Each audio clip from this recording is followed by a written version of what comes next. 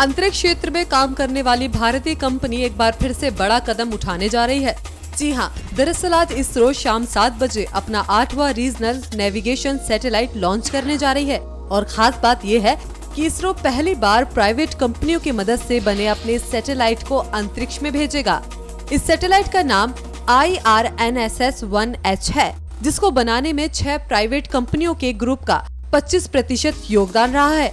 वैसे आपको बता दें कि 1425 किलो वज़न की I R N S S one H अंतरिक्ष में मौजूद I R N S S one A की जगह लेगा। 2013 में लॉन्च किए गए I R N S S one A की तीन एटॉमिक घड़ियों ने काम करना बंद कर दिया था। इसके चलते नए सैटेलाइट को लॉन्च करने की ज़रूरत पड़ी है। इन एटॉमिक घड़ियों से ही सही लोकेशन की जानकारी मिलती है। क्या होगा फ़ायदा? इसरो की माने तो इससे खराब मौसम, ऊँची लहरों और अंतर्राष्ट्रीय समुद्री सीमा के पास पहुँचने से पहले सतर्क होने का संदेश मिलेगा।